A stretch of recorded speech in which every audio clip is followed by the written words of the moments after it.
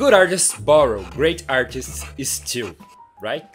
So this is a quote by Picasso or it might have been by Banksy. But in my opinion, stealing is such a bad word to describe inspiration. And I don't think that great artists steal. I think they do something else that I want to show you. For me, Dizzy Gillespie describes this in a better way. You can't steal a gift. Bird gave the world his music, and if you can hear it, you can have it. So for me, stealing art is more like a cartoon character going into a museum and stealing a painting and selling it to somebody else. In the beginning, as a visual artist, there was a thing that happened that I didn't like so much. When I was trying to be inspired by other artists, my illustration ended up looking too similar to the artist that I was getting inspiration from. It looked like I was copying that artist. And I want to show you how you can gather inspiration from other sources and put into your art and that will not seem like you are copying. That will look like your original creation. This technique is more or less what every professional artist do. So I will show you with two of my illustrations. Welcome to the drawing station zone. Actually, it's just two steps from where I was. So in this channel, I just don't tell you things, I show you. This is my illustration. And here's all the inspiration that I used. So this is what you do, you have your idea and you start gathering inspiration to make your idea come true. So in this case I wanted to do a fake New Yorker cover. So I took inspiration from these old covers. This one is by Edna Eicke from 1945 and this one is by Charles Addams, the creator of the Addams Family. I love this idea of the ghosts in the cemetery, watching the movie in a drive-in, so I kinda had a similar idea. This is supposed to be a Halloween scene, and the real ghosts inside the cemetery walls are scaring the children on the other side, using broomsticks and sheets to make fake ghosts. So I thought that was a funny idea. So I wanted to give a kind of Victorian London vibe to this illustration. And I love 101 Dalmatians, the original animation. So I started gathering references from that animation.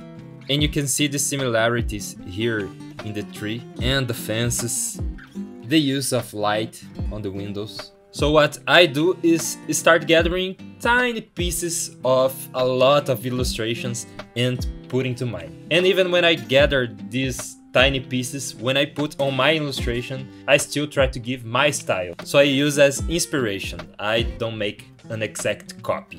Here on this illustration, you can see that I borrowed the colors. My ghosts are also green. But you should not stop there. A great practice is creating your own references. Like here, this ghost sitting on the tombstone, and here, me holding a broomstick. What I also did in this illustration was going to Street View. I wanted my cemetery to look like a London cemetery. So I went to Google Street View and searched for a London cemetery and I started walking there. This actually took me a little bit longer than I expected because I was curious to see the whole cemetery and I spent like two hours walking inside the cemetery.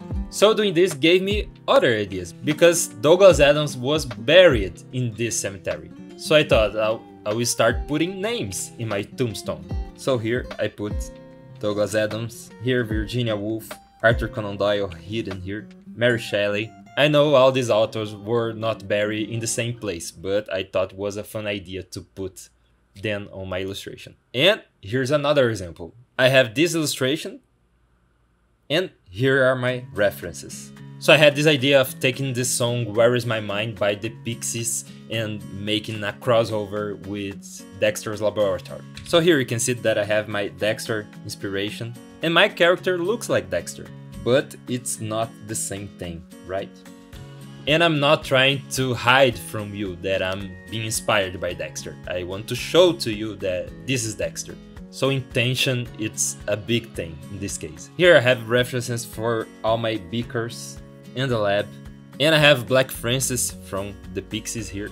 I also like to use this shadow that is very harsh, very pointy, to direct the viewer's attention to my focal point. And this is used a lot in old animations, like this one.